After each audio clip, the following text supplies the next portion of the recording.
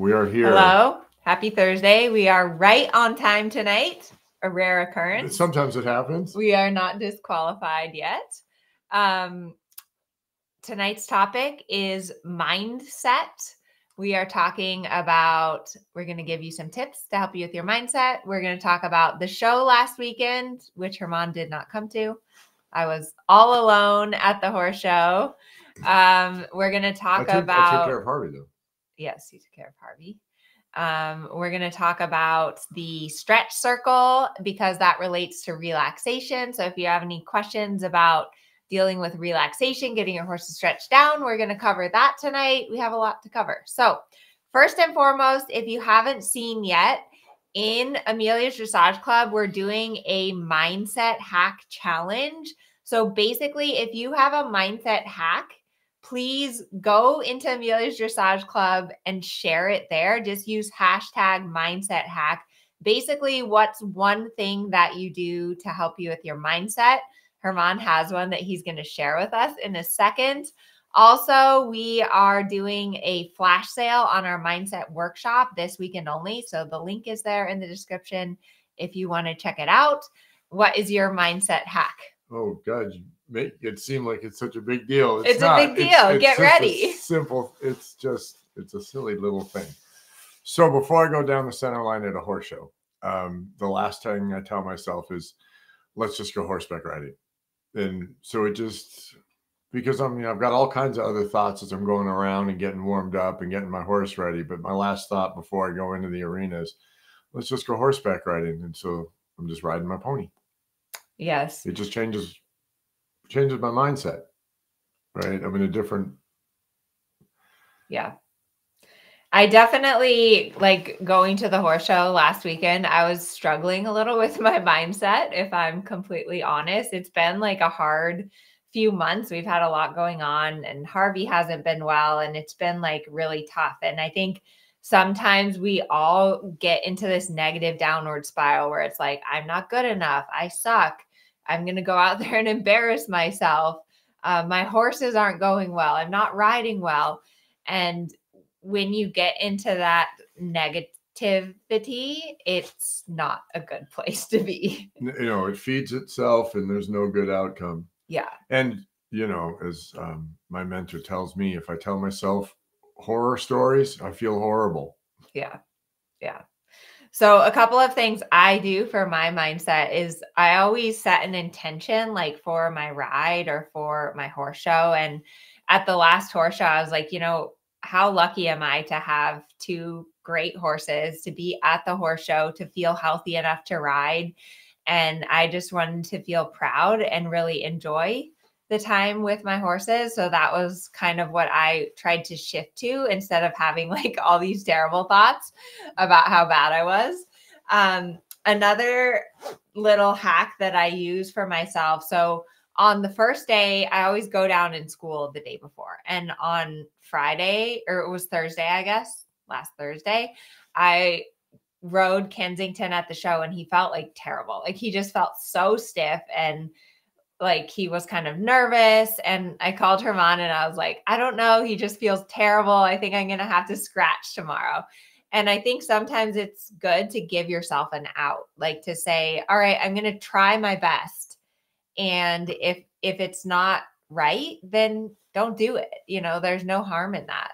And so with Kensington, I kind of changed my strategy a little bit and I went out super early in the morning because I didn't ride in the afternoon. So I got him out super early in the morning. I did like a light ride, really focused on suppleness and relaxation.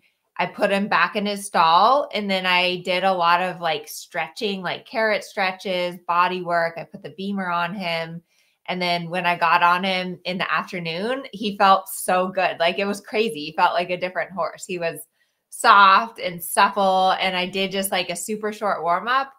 I went in the ring and he was awesome. So he was like third behind Steffen and Sabine, which I was very proud of. So it goes from It's like not a bad day. I'm gonna scratch and my horse is like terrible to um yeah, that. But that's horses for you, right? Stuff of life. Yeah. The other thing, um, one of my clients was with me at the horse show, and it it was a big show, right? Like all the Olympians are there. There's a lot of really good horses, and you get intimidated. Like for sure you do. Like, everyone's here, everyone is watching. And I just told her, and she even brought it up too, is like, no one really cares. Like, unfo- like we think everyone cares, but they don't. They're busy. They're riding their horse. Right. They're thinking about what they're doing. Right. They're worried that their horse isn't going to go well. So, So they're doing. They're riding their horse. They're not. Nobody's watching. yeah. And the other thing I was talking to another um, rider down there is that anyone who is critical is not a true horseman. Like if you're a true horseman and you, you, find the good in it. right, but if you're a true horseman and you see someone having a bad ride, how do you feel? You just think, oh God, they're struggling today. Yeah, you feel such empathy for them. You're like, oh We've man, all been there. Right. And so we need to be supportive of one another and we need to have that empathy and that support for when you do have a bad ride or when your horse spooks or when you get dumped in the dirt because we have all like 100% been there and it's really important to understand that horses at the end of the day they're unpredictable and they're prey animals. So the fact that they even let us ride them is like pretty amazing. So Well, it does speak to their noble character and how wonderful they are. But on saying that, things can go south in a hurry, and it does. It's gone on for everybody, and you know you hope it doesn't happen in front of the judge, but sometimes it does. Yeah. Yeah. So let us know if you're watching here live what your mindset hack is. What is one thing that you do to help with your mindset? Because your mindset is so important. Like, if what is it you say? Think you can? Oh, if you say you can or you say you can't, you're right. Yes, which is true. And it's also really important, I think, when you're riding is to try to stay positive and focus on the positive. That is so important. And we all get so type A about Well, you were saying something earlier about you know you have to look at your ride in its entirety. yeah, right? If you were on your horse for 30 minutes and you had, you know, two minutes of a bad moment, so then 28 minutes were good. So, but what are you focusing Yeah. on? It, it it's in its entirety. It isn't just the two minutes where things went horribly, horribly wrong. That was part of a bigger picture, and that's Right. something. That, yes, you have to address that and look at and remember the things that didn't go right, so you can improve those things. But that, that wasn't the whole ride. Yeah, and and we all do that where we blow up the negative moment Right. or like the one mistake you just repeat it over and over again or like the one time your horse spooked and they're actually in the mindset workshop there's a lecture from um, a phd dr beth and she talks about nervous system co-regulation and there's a word for that i forget what it is but it's basically where you like over expand the negative moments and then you squash all the good. I'm sure there's a psychologist that's going to be giving us the term here in a minute. But um but so here's people coming in with their hacks. um have fun and enjoy my horse. That's a good one. Sing a song. That's a good one. I say out loud, this is going to be fun. yes, this is going to be fun. Um I will. That's a that's one from Conrad Conrad. Conrad, Schumacher. yeah, that's yeah. you. And I just you could just hear him sitting at the side of the arena, and you say to yourself, "I will." I will, in that heavy accent. yeah, he did that to one of our students. She was struggling with her flying changes, and he, he- three, two, one, I, I will. will. yeah. um, so another thing that we were just talking about actually, because we were doing a, it was fun. We were doing a brainstorming session with my team to help find strategies to help our students actually like utilize and implement our programs, which is super interesting to think about. But um, one big hack and something that's really important is consistency. And the more consistent you are, the easier it gets. And by consistency, we're talking about every day you get out and you do something. Yes. It doesn't necessarily mean you'll be on your horse, but you read literature, you you study, you listen, you watch, clip your horse, and you watch the horse shows, and Yeah. Get inspired and reinvigorated and all of these things, but that's on a daily basis. Yeah. Because the more consistently that you ride, I mean, yes, all those other things, but the more consistently that you ride, for one, it really helps your horse because horses yes. are creatures of habit. And so, we, one of the questions we were brainstorming is like, how do we help people on days where they're not feeling motivated or where they don't have energy or they don't have time? And I was like, well, I've learned that if I don't ride for three or four days, it really is terrible. And I do get my horse out again and ride. So that's what keeps me motivated on days that like I don't feel good or I'm tired or like it's windy or it's cold. Is like, well, if I wait five days and then try to ride, it's going to be harder. Right. So it's going to be much worse. So do something with your horse as frequently as you can and it makes everything better. Okay. Anything else on mindset? Any other hacks you have? I don't really have. I, I'm seeing now really what an important component that is because you say it a lot. Horseback riding is 90% mental. Yeah. And what an important component being in the right mind, having the right frame of mind to yeah. ride your horse. Like in Podhajsky's book, it says like if you're angry, if you're having a bad day, just put the horse back in the barn because it's not going to go well. Yeah. Right. You know, and you're and you have to get ready for your ride way before you get in the saddle. Yes. Right. The ride doesn't start yeah. in the saddle. The ride starts as you're going to the barn and you've got a plan and things are, you know, I'm going to this and that. And then things happen and you change the plan, but you have a plan way before you get in the saddle. Yeah. Because you have to set up for success. It doesn't happen. You, you, you plan that. Yeah. And, and, I see that a lot with riders when when they have the self doubt and mm-hmm. either they did all that to themselves before they even got on the horse, and then by the time they get on the horse, it's just a train wreck. Yeah, and that's especially true for us as teachers. Is like the students that come to their ride in a good state of mind, like where they're positive and they're calm and they're focused. We can help them when you have a student come to a lesson and they're like negative and distracted and like I'm we like, can't do anything. How am I going to make this situation any right. better? Yeah. So it it is so important, and I think mindset is something that it like. There's a quote that says, "The way you do one thing is the way you do everything in life," and so like the way that you are when you're with your horse is the same as how you are at home and with your family and the way you treat your colleagues. And it's like this overarching thing in your life is getting control of your mind right? Yeah.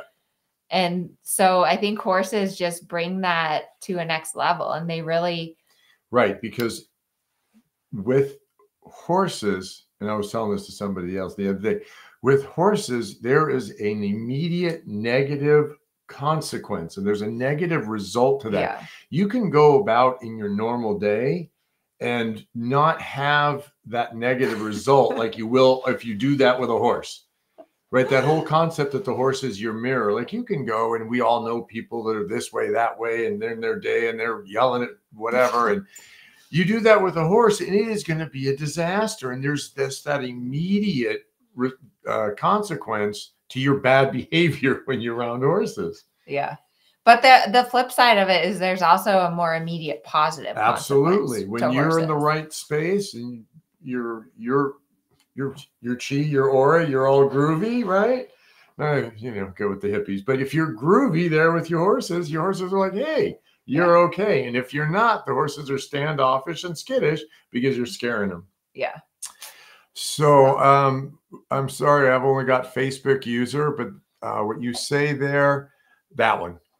This one? No, the one up. It's not key? fair to my horse if I'm not consistent. Absolutely. That is the God honest truth. That yeah. is gospel. That is spiritual truth right there. It is not fair to my horse if I am not consistent. Right. That is, yeah. that's the stuff of life right there. Yeah. And we all have days like you have days that you don't feel like it or you don't feel good or you're, you know, or whatever. But And- your horse needs you to show up. yeah. And then, you know, do something a little different on those days. Like just do groundwork or groom your horse or hand walk your horse or lunge your horse or go for a trail ride. I think that's okay also to give yourself that permission if you're like really having a bad day. It was funny during our brainstorming session, um, Nick from our team, she she told the story of the her kids with the vegetables. What did she say it was? they Um, could reject like one vegetable off their plate, but they had to eat all the rest of right, them. ref- the right of vegetable refusal. yeah.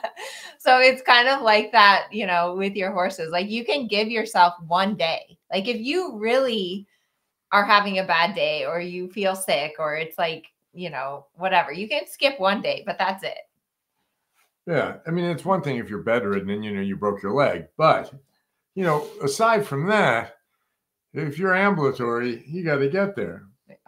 So, anyways, check out our workshop on mindset. There's a lot of great information in there. There's like a lecture I did. We have a lecture with Dr. Beth. There's a bunch of techniques, like specific techniques to help your mindset when you're not riding. We talk about visualization. And then there's also specific things to do when you are riding. So, check that out if you haven't yet.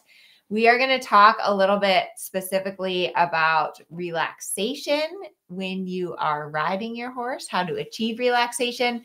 This week's YouTube video was about the stretch circle. And what do you have to say about the stretch circle? Don't pull and don't hyperventilate and speedy because there's no relaxation in that.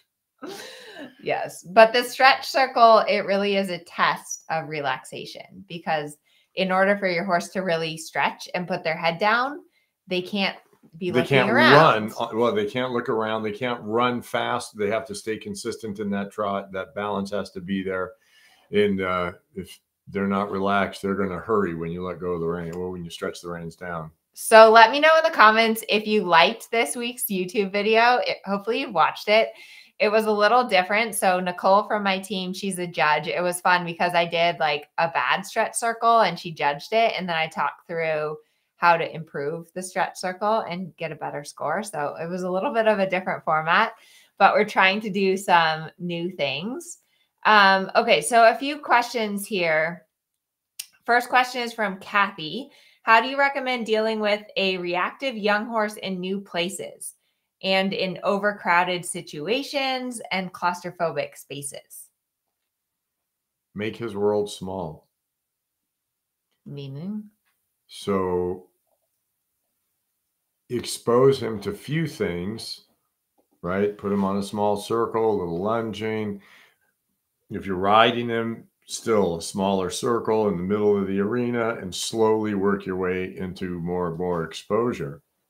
yeah, that's a good one. But you know, if if he's a little excitable and you got to let some of the steam out of the pot, you know, you're at a horse show or whatever, you there's a lunging area for specifically that. You know, if he's so keyed up that he can't even think because he's got so much energy, lunge him a little bit, let some steam out of the pot, and then go expose him to these things. Yeah. And groundwork, like you mentioned. Yeah. I'm a fan of groundwork, getting your horse out multiple times. And then also, um, I think like at the show last weekend, it was crowded. There were a lot of horses in the ring. And you really when And you it was raining. And it was raining, yes. Luigi and I got drenched, but he was so good in the rain. No, He's- but I'm just saying it's just one more thing Yes. that's happening, right? I mean, the rain's in their eyes, the rain's that they can't hear, Yeah. they can't see. It was cloudy. that's horse shows. At horse shows, things always happen. You have to just kind of expect that things are going to happen at a horse show. But when you're riding in a crowded arena, it's like driving on the 405 in Los Angeles, which is where we live. Right, in heavy traffic. So you have to be aware of like everything around you, where all the other horses or cars or whatever you want to think of are. You want to stay away from dangerous drivers that are driving crazy. Right, you can see them coming in the rearview mirror. You can see the guy rearing in the corner. You just turn Go away. away from them. Do not put your horse in harm's way. Steer away. Ride towards the space in the arena. That's a good tip. If, if you see like there's five horses down at that end, just turn across the ring and go back to the other end. Don't ride where all the other horses are.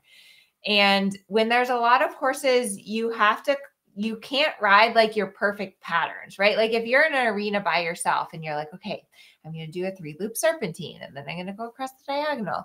When you're riding with a bunch of other horses, it's kind of like just survive and stay out of the way. You don't always get to ride your perfect circle because there's too much traffic to do that. Right. So you see where that horse is, you move your line. I always opt for going behind horses. I don't That's a good tip. I don't cross in front of them. That's a good tip. I just stay out of harm's way. That keeps me calm. And if I'm calm, you know, my horse is going to be calmer. Okay, next question is from Emma. I struggle with a horse that gets anxious when she does, head goes up and the strides become tense and less fluid. I've had her for 10 years and still struggle in going to new places.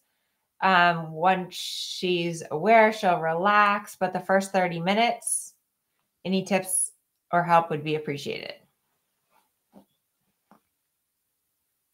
So if you know that in 30 minutes you're going to be okay, just amble around for 30 minutes and then get to work. I mean, if that's who she is, it doesn't have to happen any faster.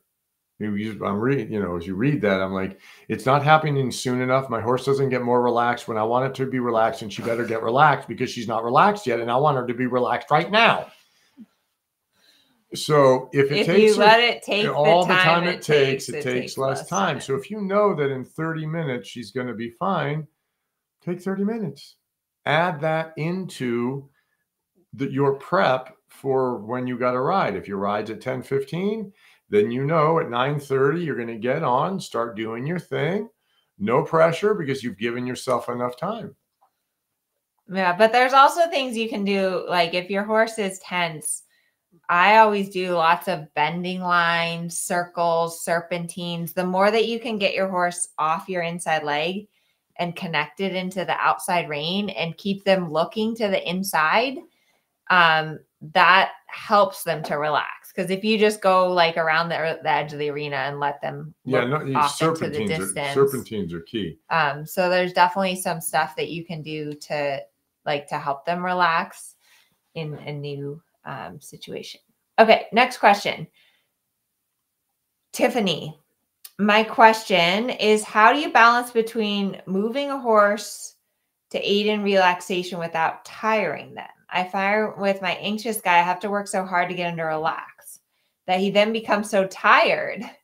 And I'm afraid to keep asking, or I've noticed I've been on for 45 minutes and I don't want to push for more. That's a really good question. Yeah, because that, I mean, you, you you do see people lunging their horses so long that they're just too tired to misbehave and that is really more about what you were saying that you've got to try and find the way to get them onto the aid sooner which is the serpentine the groundwork that small world. I make turns through the circle um, just keep refocusing him into the arena.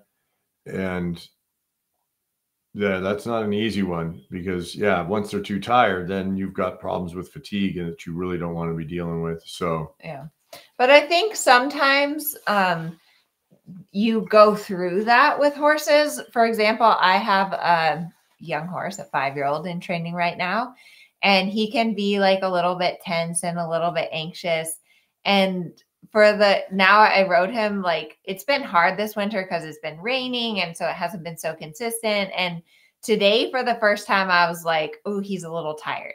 And it, it was kind of a good thing because I didn't have to deal with the anxiousness. So I could just work on getting him on the aids.